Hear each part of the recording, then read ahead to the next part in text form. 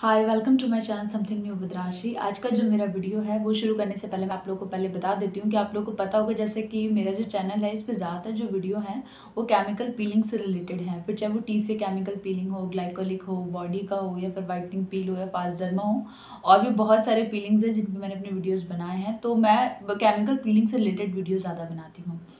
तो मुझसे एक सवाल किया गया था अभी एक इंस्टाग्राम पे मुझसे किसी ने पूछा था कि, मैम, मुझे ब्लैक हेड्स वाइट हेड्स बहुत ज़्यादा होते हैं तो आप मुझे कोई ऐसा फीलिंग बताओ कि मेरे ब्लैक हेड्स वाइट हेड्स उस फीलिंग से रिमूव हो जाए? तो मैं एक बहुत मतलब मैं एक बहुत जेनविन बात बताती हूँ सबसे पहले तो। कि मैंने आप लोगों को कहा था कि केमिकल पीलिंग मैंने अपने फेस पे अप्लाई किया। आप लोग कर सकते हैं, अगर आप लोग चाहें तो। मैं आप लोगों को नहीं बोल रही हूँ आप लोग करें, अगर आप अपनी मर्ज़ी से करते हैं तो ठीक है। लेकिन केमिकल पीलिंग कुछ स्ट्रॉन्ग प्रॉब्लम्स होती हैं जिनको हम ऑयलमेंट से ट्रीट नहीं कर पा रहे हैं, या फिर हम लोग बहुत सारा ट्रीटमेंट ले चुके हैं और अब हम लोग फाइनली परेशान हो चुके हैं। हम लोग बाहर जाकर अपना इतना बजट नहीं है कि हम लोग बाहर जाकर ट्रीटमेंट ले सकें। इस वजह से केमिकल पीलिंग हम लोग को करना होता है तो हम लोग इस वजह से करते हैं। लेकिन ओपन पोर्ट्स का प्रॉब्लम हुआ या फिर ब्लैकेट्स वाइटेट्स का प्रॉब्लम हुआ या एक्ने का प्रॉब्लम हुआ, ये बहुत छोटी छोटी प्रॉब्लम्स हैं जो कि हम लोग अगर कोशिश करेंगे ठीक से तो हम लोग इनसे घर में भी डील कर सकते हैं, अगर हम लोग इसको अच्छे से ट्रीट करेंगे तो। तो आज का जो मेरा वीडियो है वो स्पेशली ब्लैकेट्स और वाइटेट्स के ऊपर है। अगर आपको ब्लैकेट्स वाइटेट्स है तो आपको किसी फ़र्स्ट तो किसी केमिकल पीलिंग की ज़रूरत बिल्कुल भी नहीं है। कुछ ऐसी चीज़ें हैं जिनसे मैं ज़्यादा टाइम तो नहीं बोलूँगी। लेकिन हाँ मैं आपको ये कहती हूँ कि last fifteen to days to one month के अंदर अंदर आपके ब्लैकेट्स वाइटेट्स पूरी तरीके से रिमूव हो सकते हैं, अगर आप ये रूटीन फॉलो करते हैं। अगर मैं कुछ ऑयलमेंट्स बता रही हूँ, आप वो ऑयलमेंट्स यूज़ करते हैं। अगर आप रेगुलर इन चीज़ों को फॉलो करेंगे तो मैं आपको हंड्रेड परसेंट गारंटी देती हूँ कि आपको ब्लैकेट्स वाइटेट्स पूरी तरीके से रिमूव होंगे और आपकी ये जो नोज़ है, ये भी बड़ा शाइन शाइन करेगा।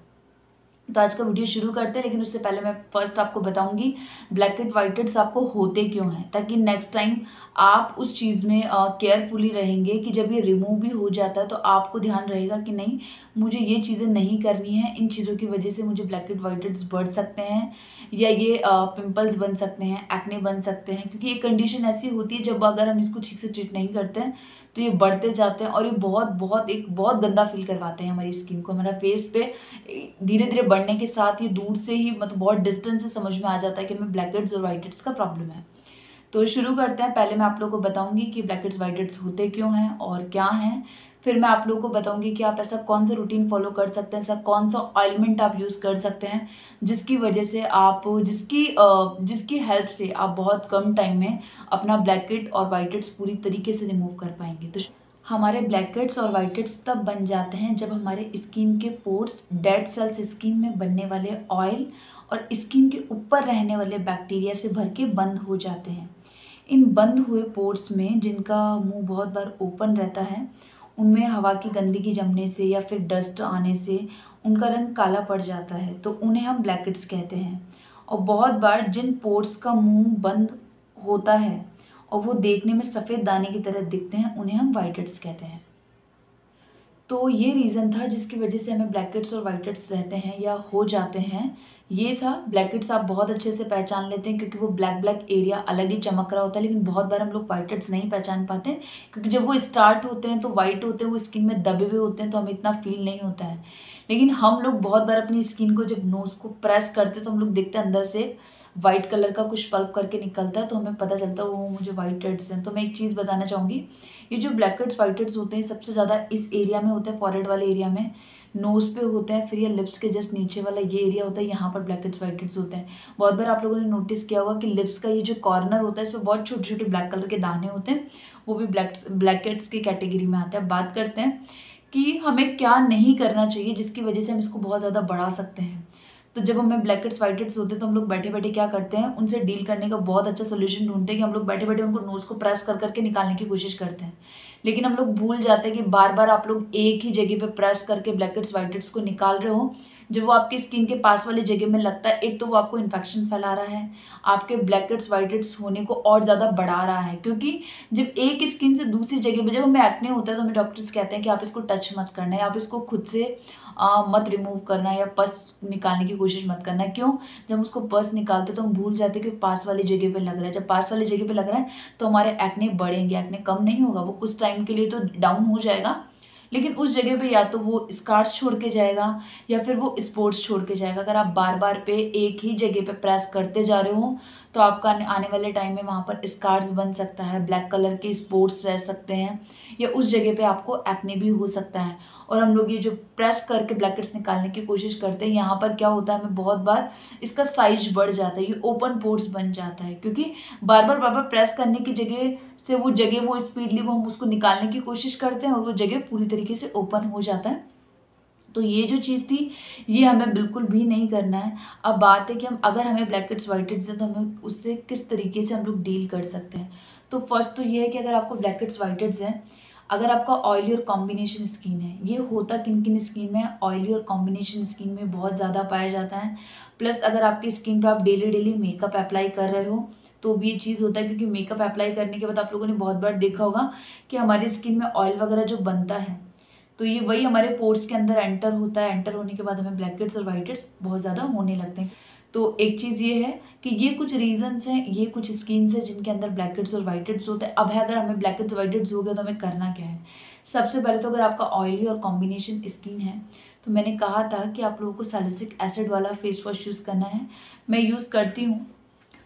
ये है डी का। इससे पहले मेरा A H A B H A आभा करके एक फेस वॉश था। मैं वो यूज़ करती थी, उसमें भी सैलिसिक एसिड था। कम से कम one percent two percent salicylic acid का जो फेस वॉश होता है आप वो यूज़ करो। मैं दो ऐसे फेस वॉश बताती हूँ आपको सैलिसिक एसिड के जो कि आप परचेस कर सकते हैं, उनका कोई साइड इफ़ेक्ट नहीं है। एक तो डीप वॉश का फेस वॉश होता है सैलिसिक एसिड का, आप वो यूज़ कर सकते हैं। या फिर न्यूट्रागेना का ऑयल फ्री एक्ने होता है, उसमें भी सैलिसिक एसिड ऐड होता है, आप वो भी यूज़ कर सकते हैं।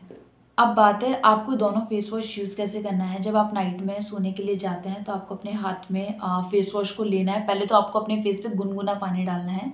गुनगुना पानी डालने के बाद आप हाथ पे फेस वॉश लो। या तो आप फॉर्मिंग फेस वॉश ले रहे हो, अगर आप फॉर्मिंग नहीं ले रहे हो तो ये जो भी है सैलिसिक एसिड में, आप इसको हाथ में लेकर पानी डालकर झाग बनाने की कोशिश करो। झाग बनाकर फिर आप बहुत माइल्ड तरीके से आपको उसको रब नहीं करना, आपको उसको पे नेल्स नहीं लगाना है। बहुत माइल्ड तरीके से आपको एक मिनट तक कम से कम अपने फेस पे उस फेस वॉश को रखना है। उसके बाद आपको उसको ठंडे पानी से वॉश कर लेना है। कि आपने अपना फेस वॉश कर लिया, उसके बाद जो नेक्स्ट आता है, आप लोग जेल बेस्ड जो मॉइस्चराइज़र होते हैं, मैं एक्सला का मॉइस्चराइज़र यूज़ करती हूँ। आप लोग ये कर सकते हो। मैं औरों को सजेस्ट इसलिए नहीं करती हूँ, क्योंकि मैंने और कोई फेस वॉश ये सॉरी मैंने और कोई मॉइस्चराइज़र यूज़ नहीं किया है, लेकिन ये एक्सला का आता है moisturiser for oily and acne prone skin के लिए। ये बहुत अच्छा होता है, ये मैट फील होता है, और मैंने इसको बहुत टाइम तक अपने एक्ने के लिए यूज़ किया लेकिन आप इसको ब्लैकेट्स वाइटर्स पे यूज़ कर सकते हो।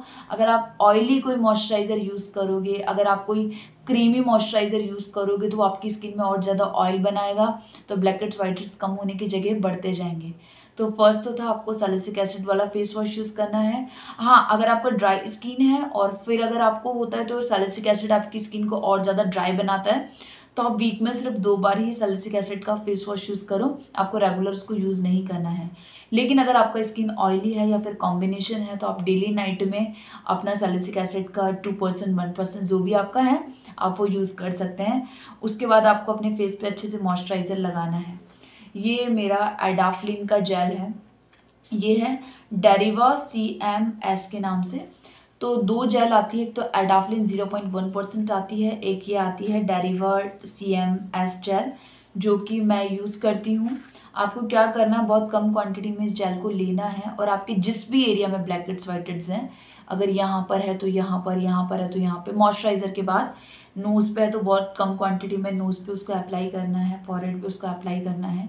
आप नाइट में उसको अपने फॉरहेड पे नोज़ पे सब पे लगाओ और उसके बाद आप उसको रहने दो। नेक्स्ट मॉर्निंग में आपको क्या करना है, सबसे पहले वही अपने फेस को प्लेन पानी से वॉश करना है और आपका जो एक्सला का मॉइस्चराइज़र था ये उसको अपने फेस पे अप्लाई कर लेना है। अगर आप बाहर जा रहे हैं तो आपको सनस्क्रीन ज़रूर यूज़ करना है। डाफलिन आपकी स्किन में ड्राइनेस बहुत ज़्यादा बढ़ा देता है। जब मुझे एक्ने का कोई प्रॉब्लम होता है तो मैंने बेंजल पैरोक्साइड पर एक वीडियो बनाया था कि मैं बेंजल पैरोक्साइड यूज़ करती हूँ।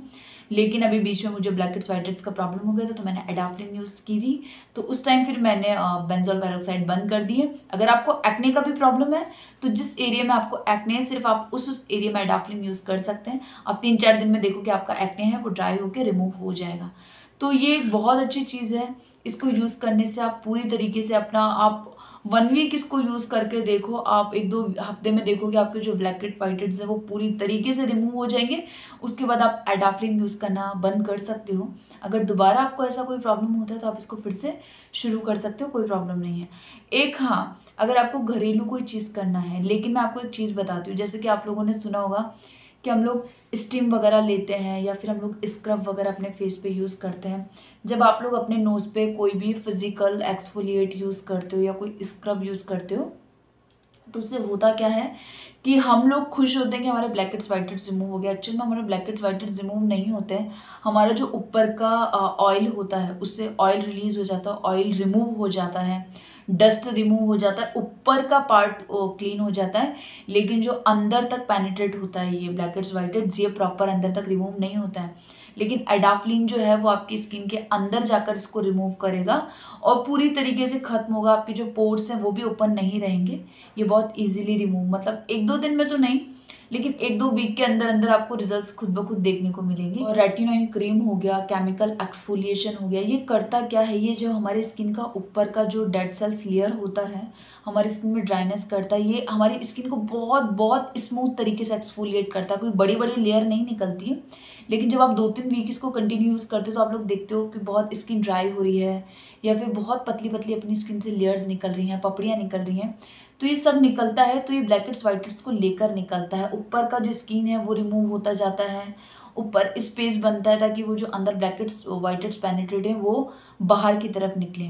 तो आप अपनी स्किन पे रेटिनॉइड यूज़ कर सकते हैं या फिर केमिकल एक्सफोलिएशन आप वीकली यूज़ कर सकते हैं। अगर आप लोग स्टीम वगैरह नहीं ले रहे हैं, कोई इस तरीके का चारकोल वगैरह मास्क वगैरह यूज़ नहीं कर रहे हैं तो आप बिल्कुल केमिकल एक्सफोलिएशन वीकली यूज़ कर सकते हैं। जो मेरा केमिकल एक्सफोलिएशन था, मैंने उस पर अपना ऑलरेडी वीडियो बनाया हुआ है। दो तीन वीडियो मिनिमाइलिस्ट का और मैंने डी डर्मा को पे बनाया था। तो आप लोग चाहें तो वीकली वो एक्सफोलिएशन यूज़ कर सकते हैं अपने फेस पे। वो भी आपका जो ब्लैक हेड्स वाइट हेड्स उसमें बहुत बहुत बहुत रिलीफ करेगा और इसको कम करने की कोशिश करेगा।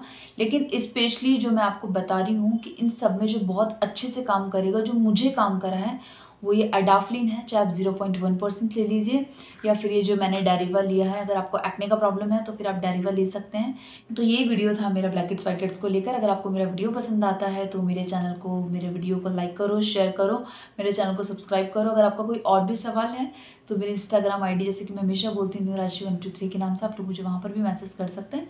मैं आपके मैसेज का जवाब ज़रूर दूँगी। Thank you